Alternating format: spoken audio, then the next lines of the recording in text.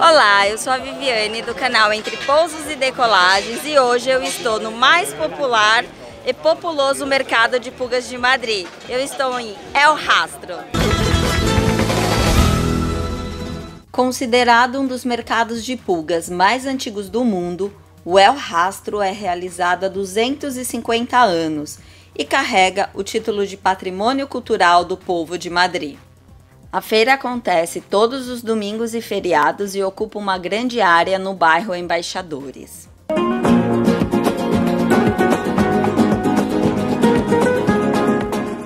As primeiras indústrias de Madrid foram construídas nessa região durante o século XV, atraindo muitos imigrantes que acabaram se instalando por ali. Segundo o conto popular, o nome El Rastro originou-se das marcas de sangue deixadas pelos animais que eram degolados no matadouro e transportados pelas ruas do bairro.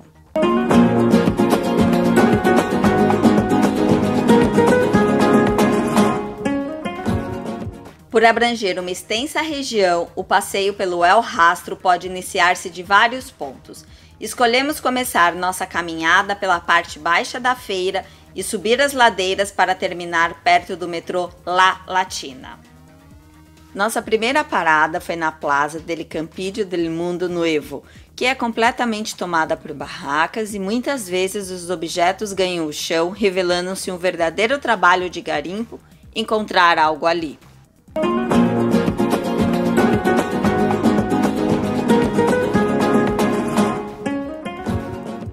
Olhar ladeira acima pode ser um pouco desesperador, mas, apesar da aparente confusão, o mercado de pulgas é mais ou menos organizado por zonas.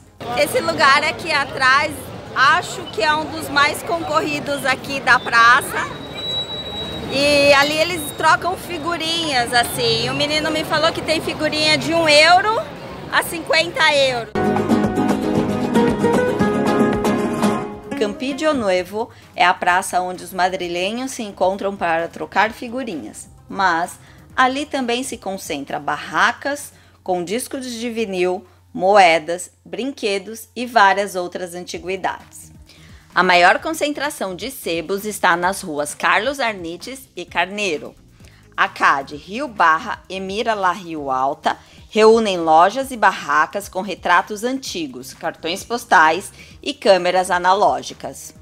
Porém, a grande artéria do El Rastro é a CAD Ribeira de Curtidores, assim chamada porque nela se instalaram as indústrias artesanais onde se curtiam as peles dos animais.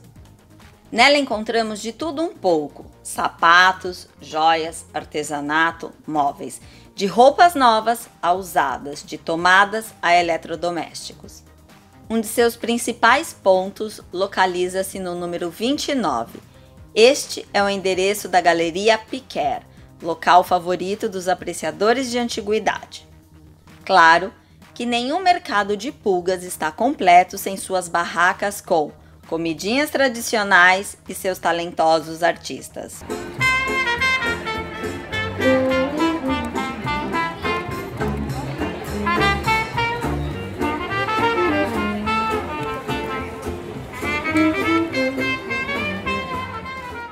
Malabaristas, desenhistas e bandas de vários estilos destacam-se no vai e vem das pessoas.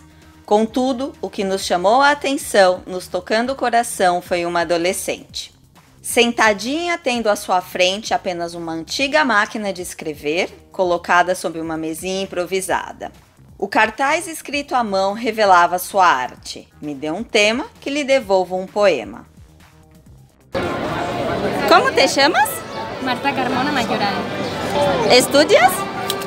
Arte dramático, actriz. Soy actriz. ¿Escribes desde cuándo? Pues viniendo aquí llevo tres años. ¿De dónde es? De, de aquí, de Madrid.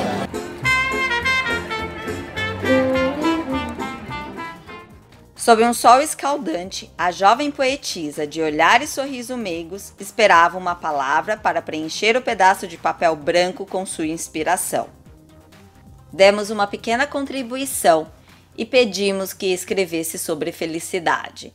Nos retornou um pedaço de papel com suas rimas em espanhol revelando parte de seus sentimentos sobre o tema. E foi assim finalizamos nossa aventura pelo secular El Rastro. Música